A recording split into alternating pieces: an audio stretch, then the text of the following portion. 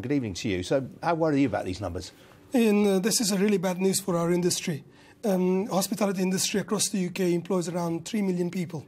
Uh, most of those people employed by the hospitality industry, including takeaways, restaurants, hotels, and so on, are um, European nationals. Really? And seeing numbers going down is, is a really bad sign for our industry. I would assume that most people working in takeaways were from uh, the Indian subcontinent Yeah, and as, so a, forth. as a whole hospitality industry will be mainly from European nationals, but within our industry, uh, takeaway industry, curry houses, kebab houses, pizza places, you'll have minority BME communities who are from you know, Asian subcontinent or from refugee communities or other immigrant communities who have settled here in the UK to work hard, build businesses, create jobs, be part of their communities. They are beginning to see a huge difficulty in terms of finding, recruiting staff and retaining the staff they have.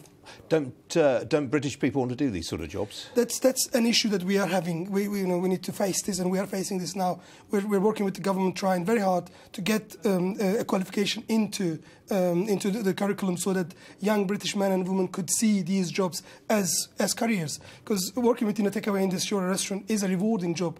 I'm a good example to this. I came into UK as part of a refugee family from the Kurdish region of Turkey at the age of 14. I started working in a restaurant as a kitchen porter, then as a waiter. Now I run five different businesses in London. I employ 60 people. So it is a rewarding job, but it was there was no other opportunity for people like me but to go into this industry. But we've got to find a way to convince our young men and women to take up these jobs, um, you know, which are crucial to our uh, communities and economy. Now, we've heard from Brandon Lewis, the immigration minister, today, and he's been making the point that while net migration is falling, the number of people coming to the UK on confirmed jobs is, is actually going higher. So he suggests that shows the system's working for business.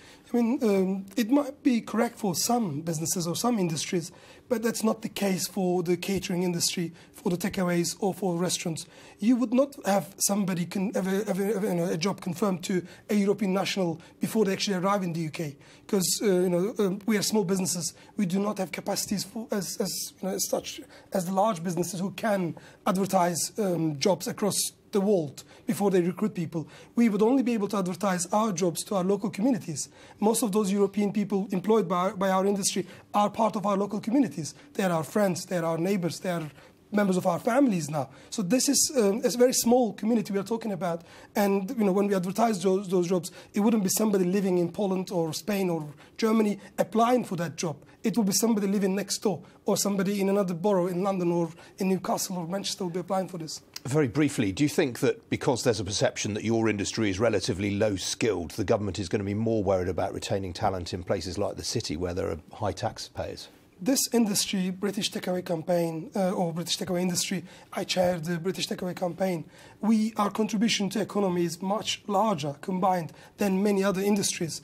I mean, we are contributing 4.5 billion uh, pounds to, to economy on annual basis. If you add employer spending, if you add a supply chain, this goes up to 9.2 billion pounds a year, and this is expected to grow. We're employing over 250,000 people across the country. Whether the government considers this to be a low-skilled job or a upskill job, it's got to find a way to support us so that our industry can continue to grow and contribute to our local communities, but also to our national economy. All right, Ibrahim Dogus, got to leave it there. Thanks for joining Thank me. you.